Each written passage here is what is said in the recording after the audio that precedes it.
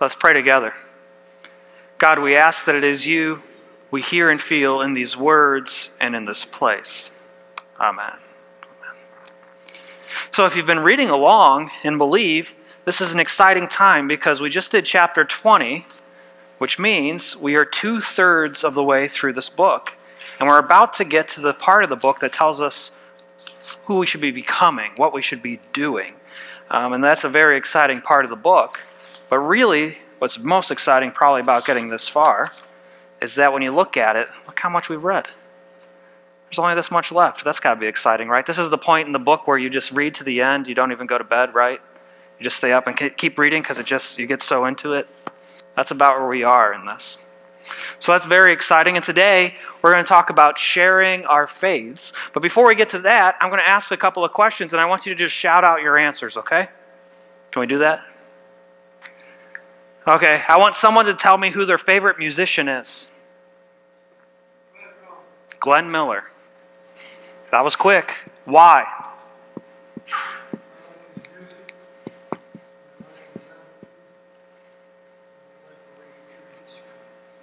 Music, attitude, treated family. Did I misspell that? Okay, just making sure. My spelling's pretty bad. I want someone to tell me who their favorite sports team is. Indians. I heard Indians. I heard Cavs. The Cubs? Oh no.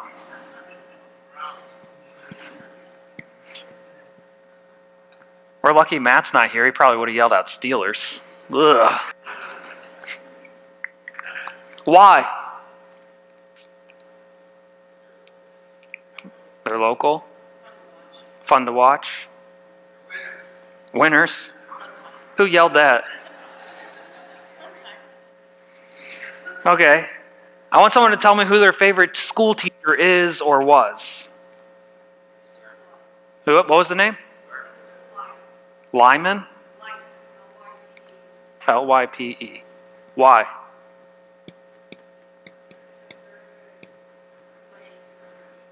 He must have been. I mean, that came to you like that. Okay, what's your favorite color? Purple, green, red. What's your favorite hymn? Amazing Grace. Who's your favorite actor?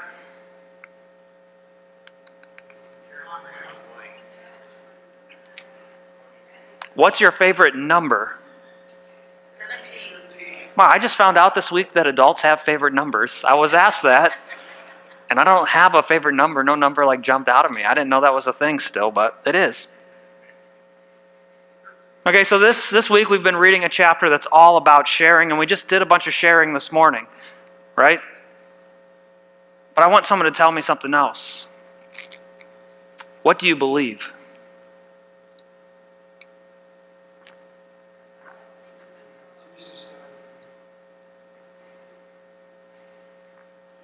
Took a bit longer for someone to say something, huh?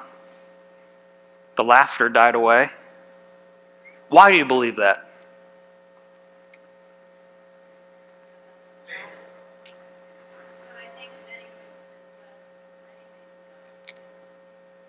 So we have a couple people that are talking, that are sending out some examples, but it's not as loud and as boisterous as it just was, was it?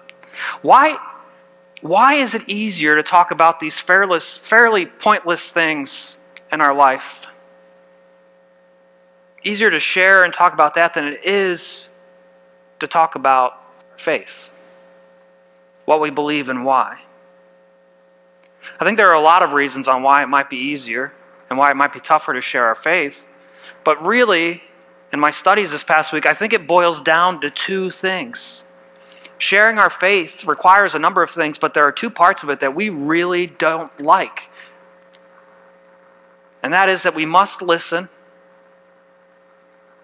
and we must be uncomfortable. To share our faiths, we have to do both those things. We have to listen and we're going to be uncomfortable. The key question for this week in the chapter is quote, how do I share my faith with those who don't know God? How do you even come to know if someone doesn't know God? Can you just look at them and tell? We might like to think we can, but I doubt it. We have to listen. I believe there are people sitting in churches right now who don't know God. But nobody has taken the time to listen to know that these people are present, hurting, and looking for something more. So we have to ask how do you share your faith?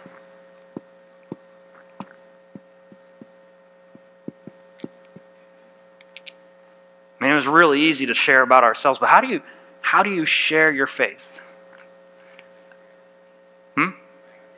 By example? How you live? That's good. How you live. It does. It starts with us, actually. It really does start with us.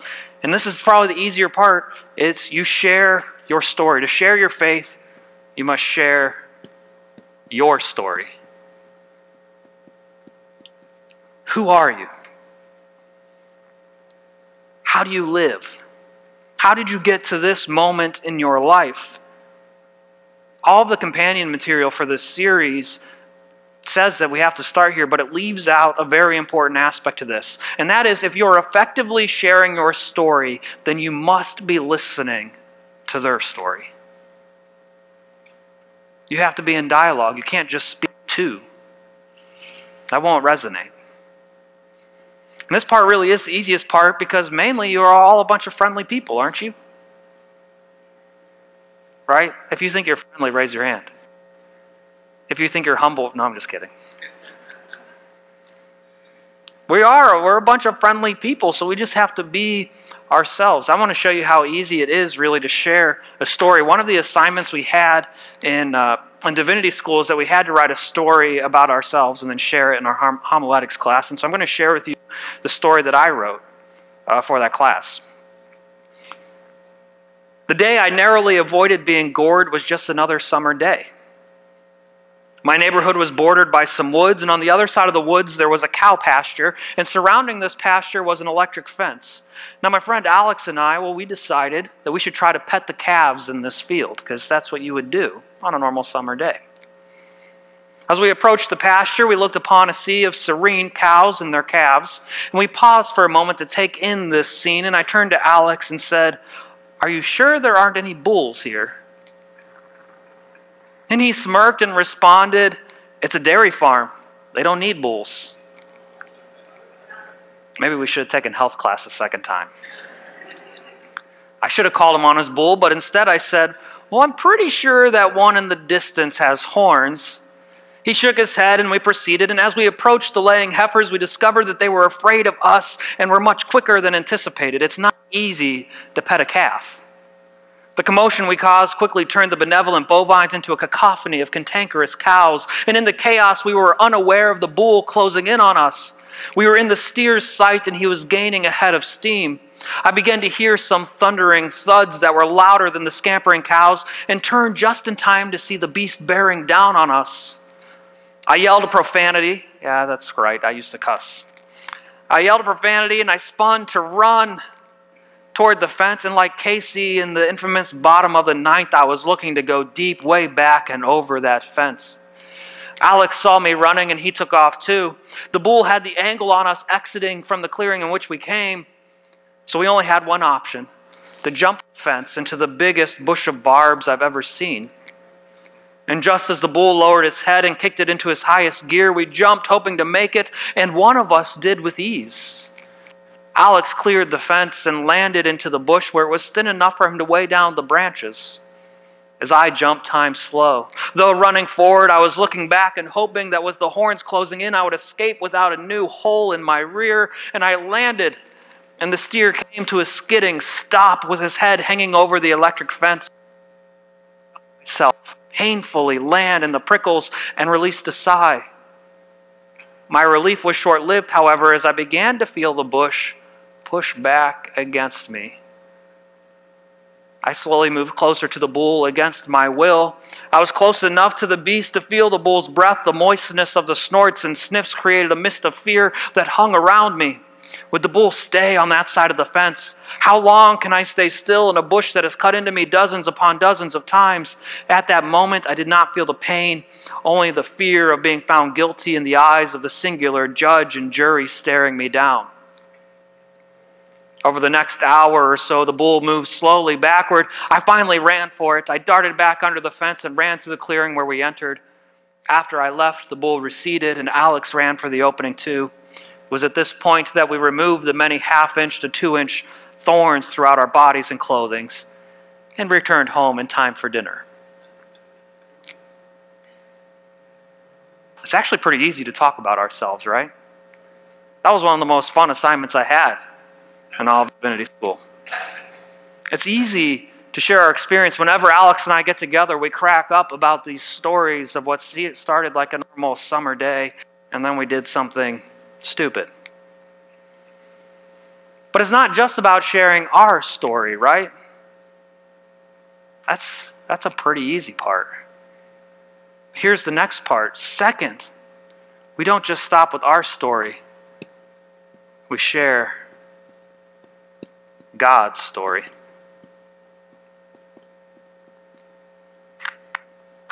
How do we do that?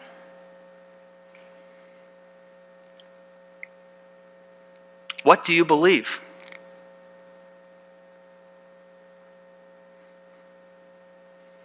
So I've shared a story about myself. So I'll share with you my faith. I believe that the God of the Bible is the one true God, that God is found in Creator, Christ, Holy Spirit, and more, that the Scriptures are alive and speak to us today. I believe we have been blessed with an intellect to accompany our faith so that we might best understand God's movements in this world. I believe that Christ came for all, that one died for all, and that all means all. I believe everyone is loved, accepted, and forgiven by God. And I believe in the restoration of God's kingdom will, where all will be whole in the presence of God. This is God's story that I am called to share. And in 2 Corinthians chapter 5, we are all called to share. Paul writes, Christ has committed to us the message of reconciliation. We are therefore Christ's ambassadors, as though God were making his appeal through us. God needs us to show people this reconciliation to share God's story. This sharing God's story, sharing scripture with others, speaking about how Christ is alive in your life to others, this is the uncomfortable part. This is probably the hardest part of sharing our faiths. Our scripture this morning, we heard the last two chapters of Jonah. And in Jonah, we, hear, we heard about how he didn't want to go and preach to Nineveh, but he did so reluctantly. Do we know why he didn't want to go and preach to them?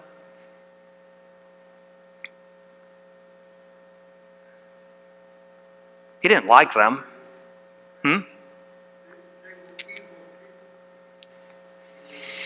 It wasn't just that they were evil, but he also knew the nature of God. And he knew that God would listen to the Ninevites if they repented. That God would offer this reconciliation even to Jonah's enemies. And Jonah didn't want to listen at all. He went and he did his piece very reluctantly and he was fed up. And nobody really came to God through Jonah being the model of what to do. That's not why this story is in Scripture. It's there as a reminder of how God's desires are sometimes different than our own. At the very end, in the book of Jonah, we get this great interaction between Jonah and God. Where God says to Jonah, Is it right for you to be angry about the bush? This is the bush that God brought and then had a worm eat it and died. And Jonah said, Yes, angry enough to die. I think Jonah's a teenager, maybe, in this. And then the Lord said, You are concerned about the bush for which you did not labor and which you did not grow. It came into being in a night and it perished in a night. Should I not be concerned about Nineveh, that great city in which there are more than 120,000 persons who do not know their right hand from their left, and also many animals? Just because Jonah doesn't like them doesn't mean that they are left out of God's love of God's reconciliation. God's love is much bigger than our human understanding. I read a story about a young teenage boy who had just gotten his driver's license, and when he got home, he asked his father, who was a minister, if they could discuss the use of the car. And so the father looks at the, looks at the boy and says, I'll make a deal with you. If you bring up your grades, study your Bible a little, and get a haircut, then I'll talk, we can talk about the use of the car. After about a month, the boy came back again and asked his father if they could discuss the use of the car. And again, the father looked at him and said, Son, I've been so very proud of you. You've gotten your grades up. You've studied the Bible diligently, but you still didn't get a haircut. The young man waited a moment and replied, But dad, I've been thinking about that. You know, Samson had long hair. Moses had long hair. Noah had long hair. Even Jesus had long hair. And his father interrupted him at that point and said, Yes, son. And they walked everywhere they went.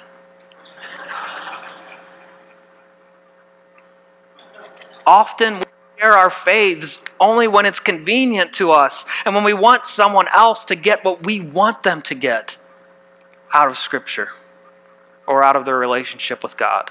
But really, sharing our faiths requires that we let God's love take control to bring about the spirit of reconciliation displayed in Nineveh and called for by Paul.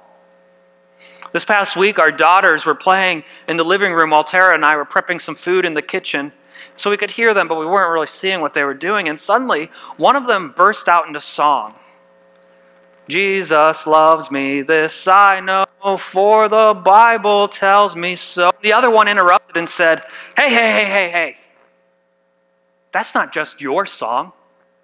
I know that song from church too. And together they belted, Jesus loves me, at the top of their lungs in our living room. So, my question to you is Do you believe the words of that song? Do you know the words to that song? Do you believe them? Do you believe that Jesus loves you? This isn't rhetorical. Do you believe that Jesus loves you? Do you believe that your neighbor should believe those words too? Do you believe that Jesus loves her? Do you believe that your enemy should believe those words too? Do you believe that Jesus loves him? then don't hold back. Don't be afraid. Don't hold back sharing your faith. Sing that song. I know you got a quick preview of it.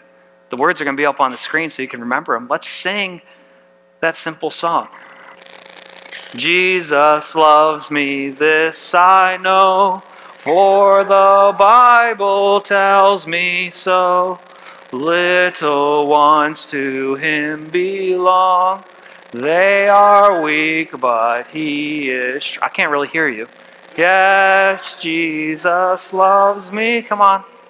Yes, Jesus loves me. Do you believe that? Yes, Jesus loves me. The Bible tells me so. Were you afraid to sing that song? That is the kind of fearlessness we need to share our faiths.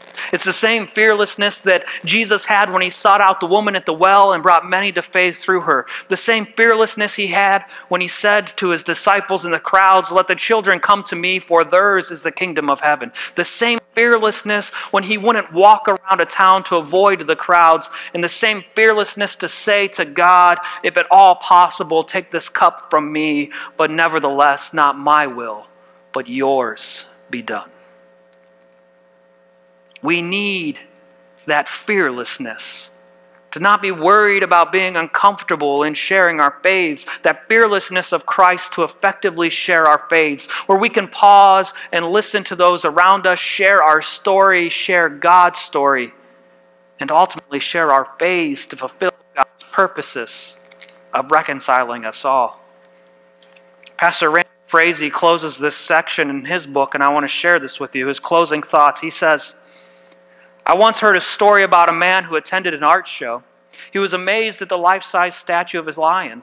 The details and scale were incredible. The man approached the sculptor who was standing nearby and asked, How in the world were you able to fashion a lion so detailed out of a block stone? And the artist smiled slyly and answered, Well, it's easy, really. I simply chipped away everything that did not look like a lion. God is methodically and continually chipping away everything on us that doesn't look like His Son. He is continually shaping and molding each of us into Christ's image. God's goal is by the time we leave this world and enter His, we look as much like Christ as possible. And once we enter heaven, we receive our glorified bodies and are fully formed into His image. But as we've repeatedly stated, the reason to become like Him now so that we can influence as many of our neighbors as possible to join us in His kingdom and on this journey. And so now we will be transitioning to this next section in the book, the What Should We Do practices. And there are some practices that show the primary actions of Jesus, those movements of His we should mimic, and those activities that will keep us becoming more and more like Jesus so that we can more effectively share our faiths. Amen.